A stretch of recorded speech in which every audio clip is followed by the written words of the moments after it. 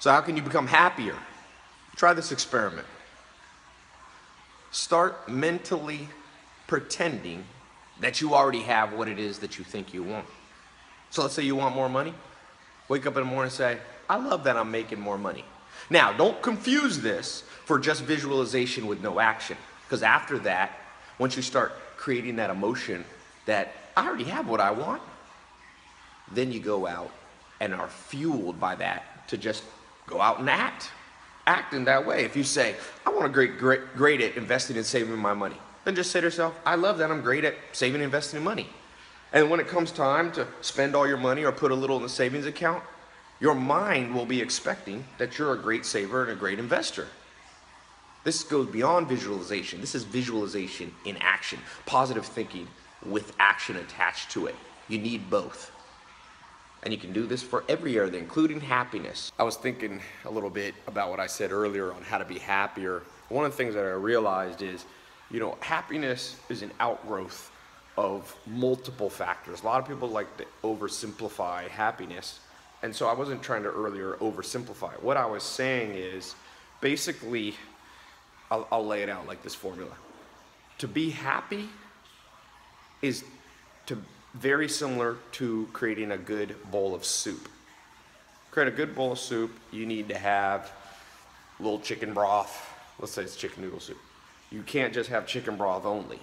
You, you need some salt, you need some vegetables and celery and salt and all those things. So there's no one factor. Some factors are bigger than others, just like in soup, you need more broth than you need salt. So what happens is in life we get stuck. My hair's a little crazy here. We get stuck. Why?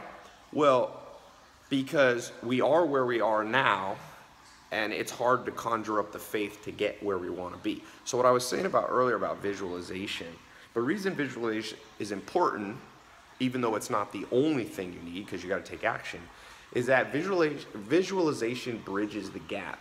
So as I was giving illustrating earlier, if you're horrible at saving money, right, you suck at it. So you always pretty much spend or get into debt. Well, so that's where you're here. To be happier, one of the ingredients in the soup of happiness is financial security. You don't have to be a millionaire or a billionaire, but it's been proven over and over. Daniel Kahneman won a Nobel Prize as an economist. I think he's at Princeton. And he did uh, extensive research, high level scientific research by one of the most respected economists. And he found that if you're making too little income, the stress that comes with that decreases your happiness. So it's not true that money doesn't increase happiness. It does up to a point. Doesn't mean again, again you have to be a millionaire, billionaire to happy. He found a threshold of around seventy thousand dollars a year in the United States and most uh, uh, Western countries. So you're here, let's say, for example, you suck at saving money.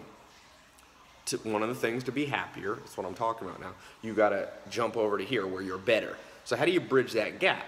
That takes faith. And faith is hard. That's why very few people have it.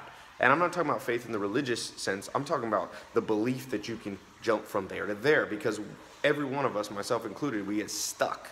And when you're stuck, the longer you get stuck, the more you start to lose hope that you can ever get unstuck. You see that with patterns of addiction and drinking and alcohol. So, one of the ways that I use, and I've found it's amazing, it works amazingly well, much better than you think, is to start just acting in your mind like you're already there. And they call it self-talk. You don't, don't, don't, you want your friends to think you're crazy. You don't have to literally talk out loud unless you're in the shower. I do a lot in the shower. And then you just start saying to yourself, like, you know what? And I use this pattern so you can adopt it and copy it or come up with your own. I just say, I love blank. So I would just say, when I'm over here and I suck at saving money, I just say, I love that I'm good at saving money. I love that I don't always go into debt. I love that my net worth is going up. I love that my bank account is going up. I love that I'm able to resist spending when I know I should save. And I've found you have to start saying this to yourself every day, or at least four or five times a week, for approximately, mm, it starts to kick in two weeks to about three months later. And I, I don't know if that's an exact, there's no science I can prove this, but one thing I found is that the worse the habit is, sometimes the more you have to do this before it kicks in. So just try it. Like I said, I found it works extremely well. So try it, and leave a comment. If you've ever do, done it, let me know your results. I'd love to hear that. And, I, and like I said, you can use this not just be better with investing. If you're not good at dieting, if you're not fit, that'll affect your happiness. You can use this to start saying, I love that I resist eating, you know, ice cream at midnight. I love that I work out, you know, four times a week. Just start saying that. Then, and I'll talk about this in future videos, you got to kick in and do the action. This is just like a jump start.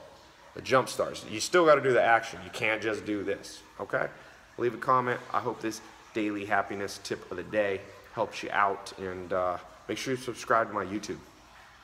Giving away all kinds of cool stuff. By being a subscriber, you're automatically entered. All right?